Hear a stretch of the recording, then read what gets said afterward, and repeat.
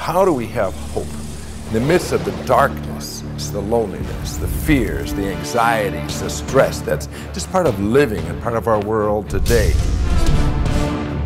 When we humans fell short and got weary and discouraged and depressed, Jesus did not stay in heaven. What did he do?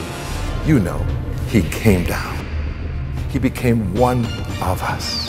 Father Robert Miller has written books, taught thousands of students, and preached across the country. Now, he brings his deep spiritual wisdom to you in this series of talks focused on the Trinity and the Holy Spirit. Return to the source. Return to the one who created you. Tune in to 9 p.m. Talks every Monday night at 9. Accept God's love, mercy, and passion and come alive to be the person God created you to be. Only on your Shalom World.